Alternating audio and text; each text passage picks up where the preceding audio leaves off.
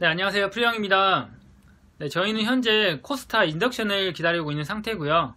어, induction을 기다리는 동안에 시간이 조금 남아서 지금 어제 여행을 다녀왔습니다. 여행을 다녀온 곳은 이제 론세스톤 근처에 있는 정말 유명한 그 라벤더 farm을 다녀오게 됐고요. 어, 이 영상은 그 라벤더 farm에 대한 좀 후기 영상이 될 수도 있지만은 가장 저의 가장 큰 목적은 그 라벤더 farm high season이 곧 돌아오고 있다는 걸 좀 알려드리고 싶어서 지금 영상을 찍고 있습니다. 그 라벤더 farm의 high season을 먼저 말씀드릴게요. 정확하게 12월 말부터 1월까지 총 약 1개월 정도, 한 달간의 그 high season이 이제 곧 다가오게 됩니다. 그래서 이 high season을 맞춰서 꼭 여행 계획을 세우셔서 그 라벤더 farm의 정말 아름다운 전경을 눈으로 보시고 또 사진을 찍으시면 정말 좋으실 것 같아서 강력 추천드리는 부분이고요. 이 시기를 놓치시게 되면은 그 이후에 오신다고 하시면은 정말로 좀 여행에 무의미할 정도로 그 아름다운 전경을 보실 수가 없기 때문에 꼭 지금 시기에 꼭 맞춰서 오시는 것을 정말로 추천드립니다. 저희의 여행은 사실 정확하게 12월 18일에 지금 여행을 다녀왔거든요. 사실 그 하이 시즌에 들어오지 못했어요. 그래서 모든 라벤더들이 만개를 하지 않았고 저희가 정말 생각했던 그 풍경을 정확하게 눈으로 보지도 못하고 사진으로 찍지도 못하고 지금 돌아온 상태죠. 그래서 정말 아쉬운 부분이 많이 있습니다.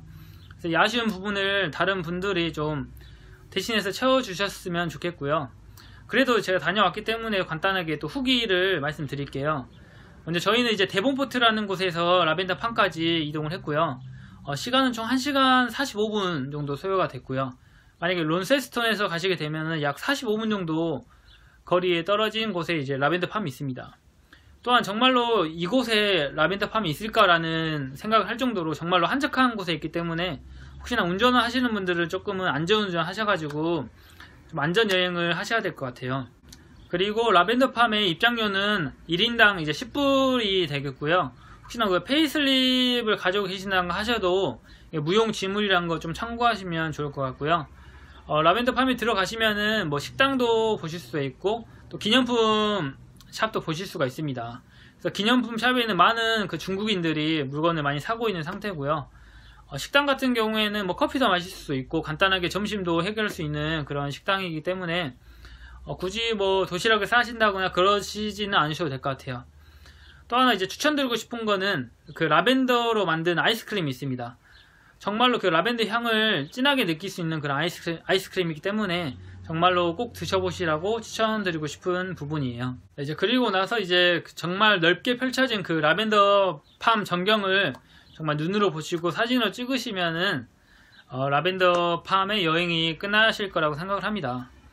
그래서 다시 한번 강조드리고 싶은 거는 12월 말부터 1월까지가 그 라벤더 farm의 high season이기 때문에 그 한 달의 시간을 시간 안에 계획을 꼭 세우셔서 그 라벤더 farm의 아름다움을 꼭 사진도 찍으시고 눈으로 보시면은 정말 좋을 것 같습니다.